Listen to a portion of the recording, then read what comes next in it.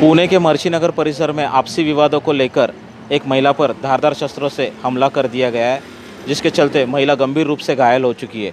महिला को निजी अस्पताल में भर्ती भी करवाया गया है। कैमरा पर्सन मानिक जैन के साथ राकेश छाजेड़, पुणे।